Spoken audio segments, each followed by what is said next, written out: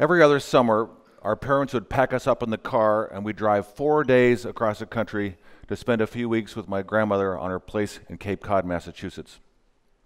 In our station wagon, there were multiple smokers in the front seat, and the windows were generally up. In the back seat, the six Shafroth children were tr- exchanging sharp elbows and awaiting the moment at the end of the day after 10 hours on the road when we could wreak havoc on the motel swimming pool. When we finally arrived in Cape Cod, the first thing I did was to put on a ratty old pair of sneakers, run down to the shore of East Bay, and begin to glide my feet along the muddy bottom in search of clams. It would take about an hour to dig a bucket of clams, and I distribute them accordingly. My mother got the big ones called quahogs for making chowder. My dad liked the little ones called little necks for eating raw. And my sister Tracy and I would take whatever was left over and put them in the back of a little black wagon with a rattly back wheel and sell them to neighbors for 25 cents a dozen.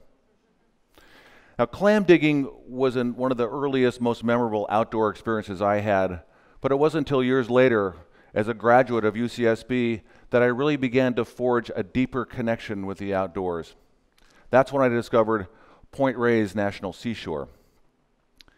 In 1981, I was 23 years old. I spent 48 out of 52 weekends in this place exploring the beaches and headlands just an hour north of San Francisco. Hiking, biking, kayaking, fishing, gathering berries and wild mushrooms, and yes, digging for clams. Only this time the Pacific Coast variety. I couldn't wait for the weekend. It was also a time of my life when I began to separate from my childhood a thousand miles away and start to become more of my own person. I spent that year with my college sweetheart from Santa Barbara, Sharon, and I learned a little bit about love as well. Alas, that romance didn't last, but my romance with Point Reyes has never faded. It became a favorite place for getaway weekends with friends and a bit of a rite of passage for women I dated at the time. my friend Charlie Fager used to tease me, Will, did she pass the Point Reyes test?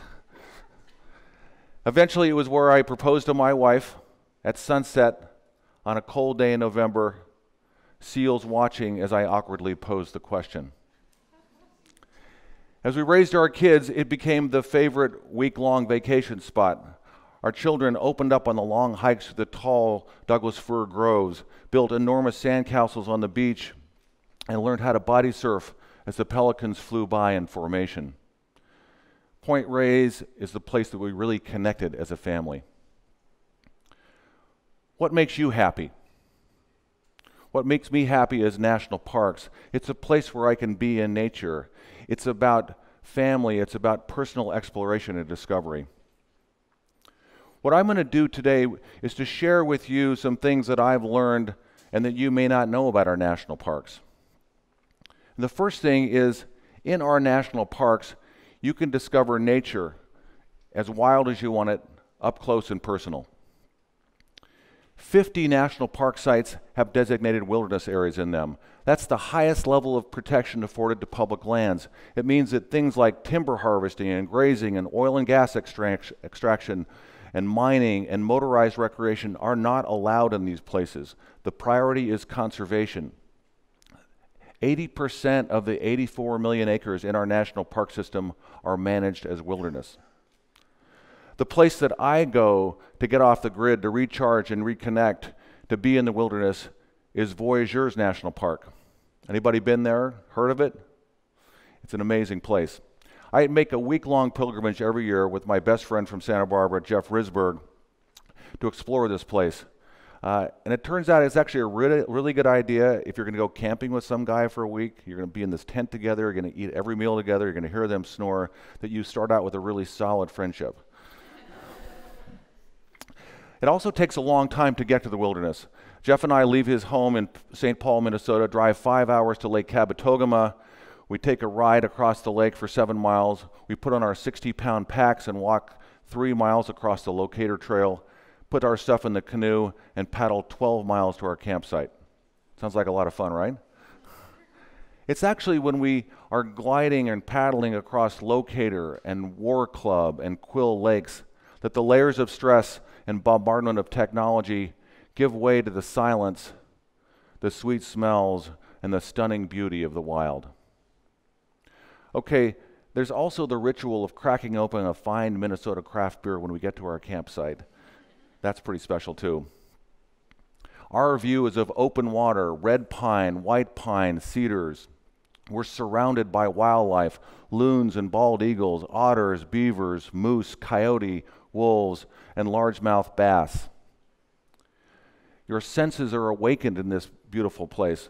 Imagine the daily call of the loons, a, a cool breeze, the big blue sky reflecting on the water. Voyageurs National Park draws me in like few places I've ever been. There's also something important when you're in the wilderness that you're stepping away from all of our modern convenience and technology. I become more awake, more resourceful. I feel connected to something bigger than myself. Voyageurs National Park really feeds my soul. And this is the second thing I want to share with you about our national parks. They're not just about wild and scenic places. They also tell the important story of who we are as a nation in all its glory and imperfections. They're not just parks, but they're also national monuments, national battlefields, and national historic sites. A few years back, I was working for Ken Salazar, the Secretary of the Interior, and I accompanied him on a trip to Arkansas when we visited Little Rock Central High School, National Historic Site. I'd only just learned about the historic importance of this place as the first test case in the, in the post Brown Board of Education world around the desegregation of our public schools. But what I really hadn't understood much about was the role that the Little Rock Nine had played. The nine black students who wanted to go to Little Rock Central High School and all that they endured and the intensity of what they endured.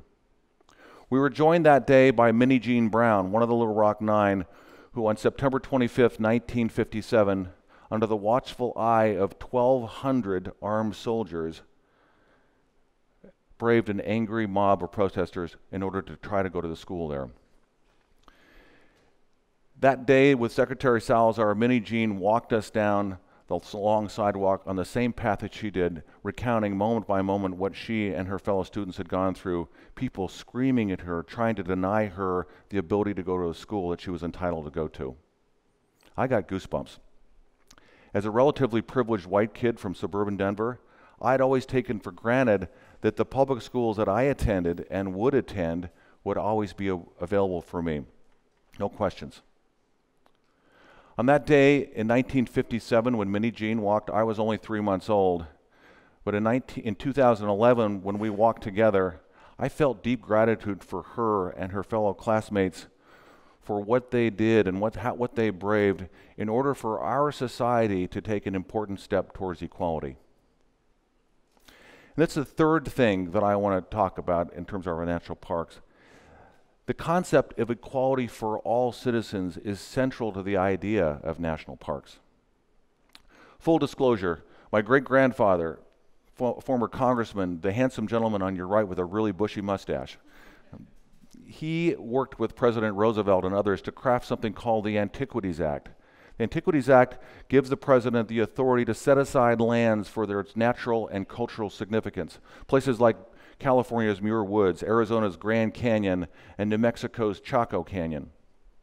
I didn't ever know my great grandfather, but his legacy and influence lived on in our family at holiday gatherings when we discussed the issues of the day and the importance of public service. It wasn't until years later when I really studied the foundations of our national parks that I came to realize that these places are really the physical manifestation of our democracy. First, they're there for and belong to all of us. They're part of our birthright as citizens of this country. We all own a piece of Yosemite, the Statue of Liberty, and the Everglades. Second, they tell a really important part of our history and culture the good, the bad, and the ugly, reminding us how far we have come as a society and how much further we have to go. And finally, there are a place where we come together, there are common ground. And whether you connect to these places through digging clams or hiking a trail or being inspired by history or just taking in a beautiful vista, we arrive at our common ground through whatever moves us. My job at the National Park Foundation now is to inspire people to connect with and protect these national parks, to build support so that our children and our grandchildren and their grandchildren can have the same opportunities that we've enjoyed to appreciate our national parks. A few weeks ago, I was back in Point Reyes, this time hiking the Tomales Bay Trail, surrounded by beautiful fields of purple lupin and yellow buttercup, with the Pacific Ocean on one side and Tomales Bay on the other. But the thing that I remember most about that day were the groups of people we encountered. The first one I remember is, was a group of millennials.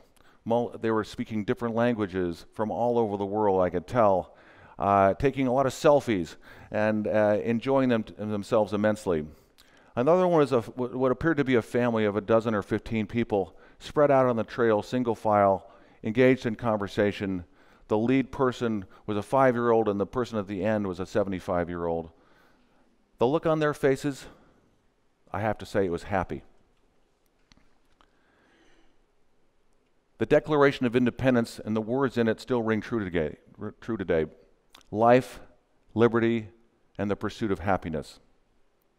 I maintain that experiencing our national parks is a great way to pursue happiness.